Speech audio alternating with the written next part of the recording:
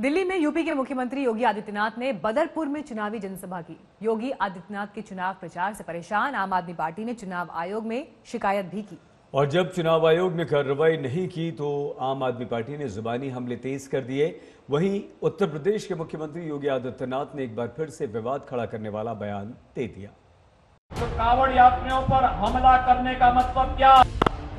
जो हमला करेगा तो फिर गोली से नहीं। उसको पुलिस की गोली समझाने का कार्य कर देगी। ये साइन बाग के जो धरने हैं ये तो एक बहाने हैं। इनको विरोध तो करना था कश्मीर की धारा 370 को हटाने का।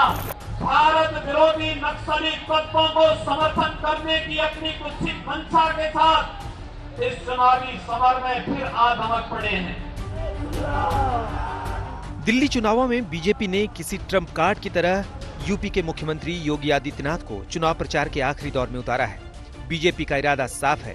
शाहीन बाग के ज़रिए दिल्ली चुनावों में अपना दम दिखाना है।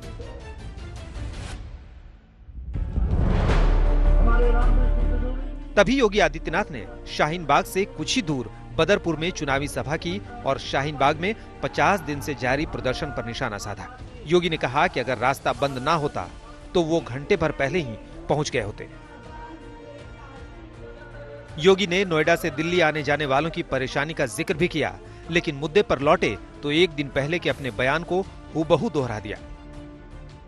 हर मत, हर मज़हब का न्यायी जब पूजा पाठ कर सकता है, अपना मज़हब के अनुसार अपने कार्यक्रमों को संपन्न कर सकता है तो कावड़ यात्रियों पर हमला करने का मतलब क्या? जो हमला करेगा तो फिर बोली से नहीं उसको पुलिस की गोली समझाने का कार्य कर देगी। शाहीन बाग ओखला में है जहाँ से आम आदमी पार्टी के विधायक हैं अमानतुल्ला खान। ओखला में मुसलमानों की आबादी करीब 48 फ़ीसदी है। एक वजह यह भी है कि योगी आदित्यनाथ ने शाहीन बाग के बहाने केजरीवाल पर निशाना साधा। केजरीवाल ये अपने विघटनकारी मनोवृत्ति विनाशक योजनाओं के साथ भारत विरोधी नक्सली तत्वों को समर्थन करने की अपनी कुत्सित मंशा के साथ इस चुनावी समर में फिर आधमक पड़े हैं। वहीं योगी आदित्यनाथ ने आम आदमी पार्टी और कांग्रेस पर एक बड़ा आरोप लगाया। सीए और एनआरसी के खिलाफ प्रदर्शन का कनेक्शन 370, तीन तलाक और राम मंदिर से जोड़ दिया। ये साइन बाग के जो धरने हैं ये तो बहाने हैं। इनको विरोध तो करना था, कश्मीर की धारा 370 को हटाने का। इनको विरोध करना था अयोध्या में राम जन्मभूमि के भव्य मंदिर निर्माण के लिए जो मार्ग प्रशस्त हुआ है, उससे परेशान है। इनकी परेशानी को हम समझ सकते हैं। इनकी परेशानी का राज छिपा हुआ है तीन तलाक की कुप्रथा को बैन लगाने पर। योगी आदित्यनाथ ने इल्ज़ाम लगाया कि नागरिकता कानून के नाम पर विपक्ष भड़का रहा है। वहीं हिंसा करने वालों से वसूली के अपने आदेश को नजीर के तौर पर पेश किया। जगह जगह आगजनी करके जामिया मिलिया के क्षेत्र में आपने देखा होगा कैसे आगजनी को बढ़ावा देने का कार्य कर रहे हैं। कैसे देश को बदनाम करने का कार्य कर रहे हैं। और इसीलिए उत्तर प्रदेश में जब सीएए को लेकर के लोगों ने विरोध प्रदर्शन किया तो मैंने पहले ही कहा, मैंने कहा, अगर सरकारी संपत्ति को नुकसान पहुंचाओगे, किसी सामान्य नागरिक की संपत्ति को नुकसान पहुंचाओगे तो इसकी भरपाई भी करनी पड़ेगी।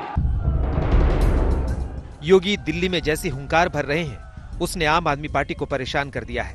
आम आदमी पार्टी ने चुनाव आयोग से योगी पर लगाम लगाने की अपील की है। शनिवार को पार्टी के सांसद संजय सिंह ने प्रेस कॉन्फ्रेंस कर न केवल चुनाव आयोग से योगी के प्रचार पर रोक लगाने की मांग की बल्कि नफरत भरे भाषण के लिए उन्हें गिरफ़्तार करने का दवा भी बनाया। एक बार फिर संजय सिंह ने योगी को लेकर तीखे तेवर दिखाए।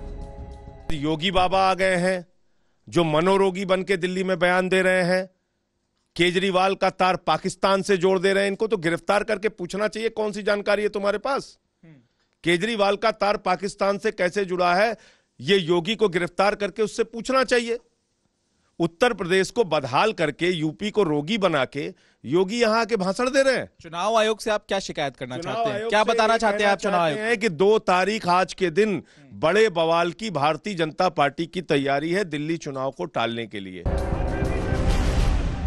आम आदमी पार्टी ने दिल्ली चुनावों में विकास के मुद्दे को दिल्ली चुनाव में अपना हथियार बनाया। जवाब में बीजेपी हर हाल में शाहीन बाग के ज़रिए उसके चुनावी एजेंडे को डिरेल करने में जुटी है। इसमें योगी आदित्यनाथ को उसके सबसे भरोसेमंद प्रचारक के तौर पर उतारा है। उनकी सभाएँ मुस्तफाबाद करावल नगर और ओखला जैसे इलाकों में कराई जा रही हैं, जहाँ मुसलमानों की अच्छी खासी आबादी है। इससे पहले भी योगी स्टार प्रचारक के तौर पर गुजरात, कर्नाटक, झारखंड, राजस्थान और मध्य प्रदेश भेजे गए थे। हिमांशु मिश्रा के साथ पंकज जैन, दिल्ली, आज तक।